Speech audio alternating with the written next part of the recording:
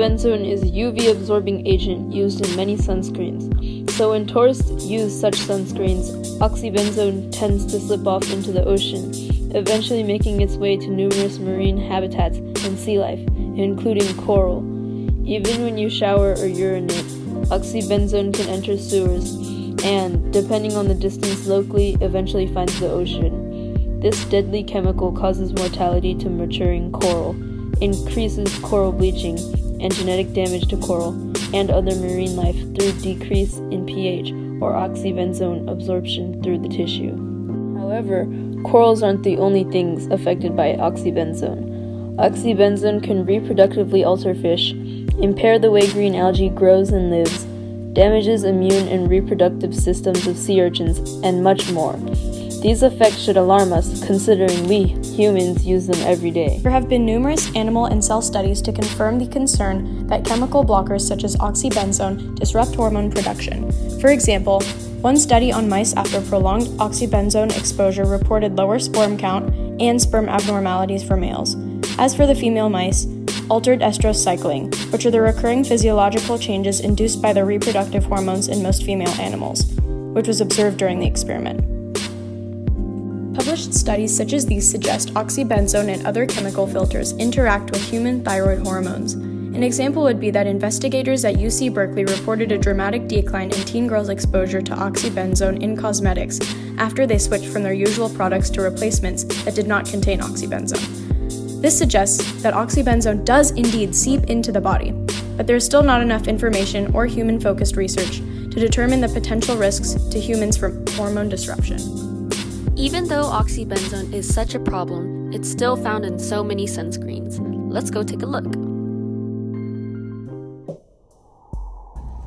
We're at Target now, and I'm going to show you how prevalent oxybenzone is in sunscreens.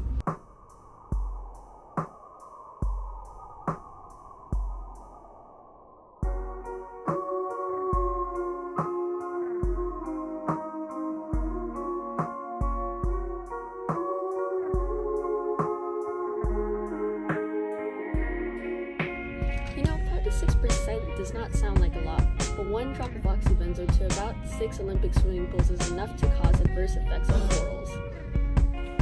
And it's estimated that 14,000 tons of sunscreen enters the sea annually, and most of these chemicals includes oxybenzone.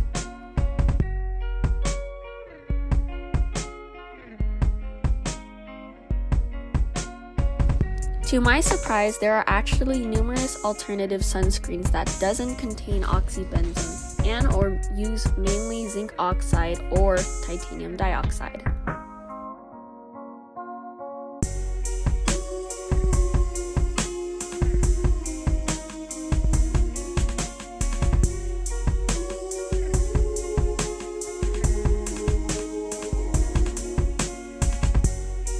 These are definitely safer alternatives.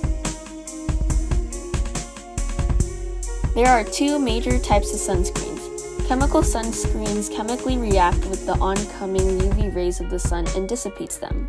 These include sunscreen formulas that consist of oxybenzone, octinoxate, homosalate, avobenzone, and more. Mineral sunscreens physically block rays from ever entering the skin. These include primarily zinc oxide and titanium dioxide. While chemical sunscreens are not as pricey and are clear when applied, they are often not as effective as mineral sunscreens and harms and kills corals. Mineral sunscreens, on the other hand, are often much more effective and doesn't affect corals overall. Some people don't like the often higher price of this superior protection, along with the very white, hard to rub off nature of the sunscreen. To compare these substances, we decided to run some experiments comparing oxybenzone with a commonly used mineral sunscreen agent, zinc oxide. Oh, hello there. I didn't see you there. oh, well, today we are going to be showing the effects of oxybenzone compared to zinc oxide in a series of three experiments. Oxybenzone is very toxic to living things that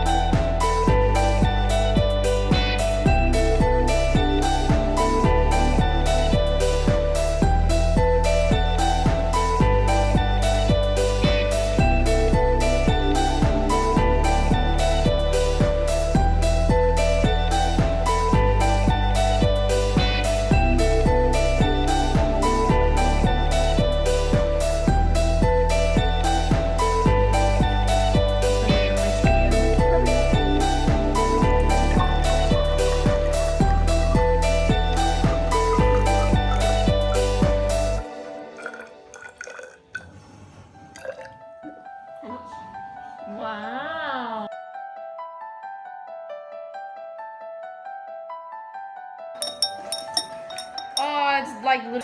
This is ocean water. I need to touch the. Oh, Janine really out here letting us.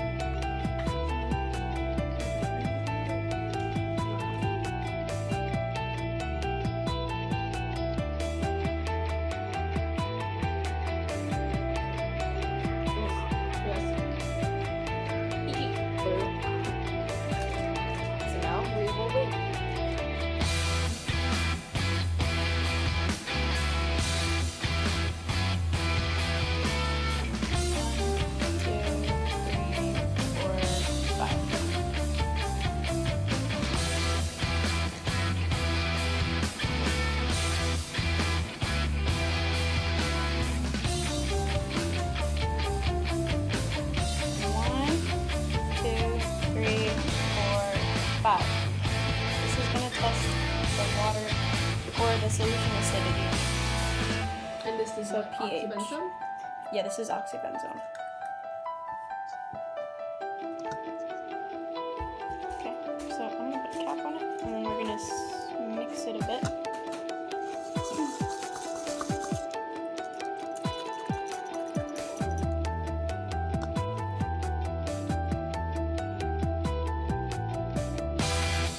People have begun to see the need for regulation of sunscreen ingredients.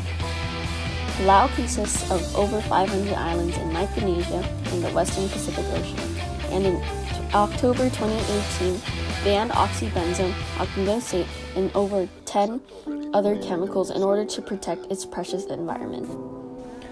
Oxybenzone is a highly prevalent substance used in chemical formulas for sunscreens. It causes significant damage to marine life, especially coral, and likely to humans too. Our experiments show that oxybenzone lowers the already unstable pH of the ocean, contributing to ocean acidification and its problems. It also suggested to us that zinc oxide, our chosen representative for mineral sunscreens, is actually more effective in protecting us from UV rays than oxybenzone. This is supported by the EWG, or the Environmental Working Group, which says mineral sunscreens can be definitely more effective than chemical sunscreen formulas, but depends on the specific formula whether which one's more effective than the other. Lastly, our experimenting suggested to us that marine life absorbed oxybenzone much more qualitatively than zinc oxide, based on the presence of crystals on the distilled algae. This statement is supported by Reefs at Risks research, which found that increasing concentrations of oxybenzone caused mortality to coral, while titanium dioxide didn't affect the coral. To further rid oxybenzone from sunscreens, sign the petition Get Harmful Chemicals Out of Sunscreen in the link below. In con- Wait, wait, okay, cover that. We need to be prepared. Safety fir- first.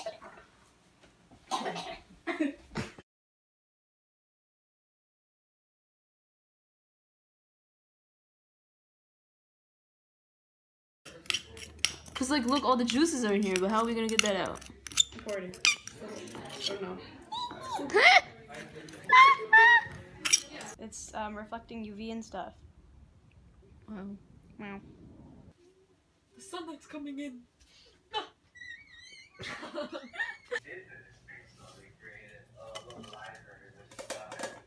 Are they all? Check on them tomorrow to see. Till next Dumb. time. Is it on? yeah. So what we're gonna do, we're gonna add pH indicator three drops. I mean, one, two, three. Safety lock.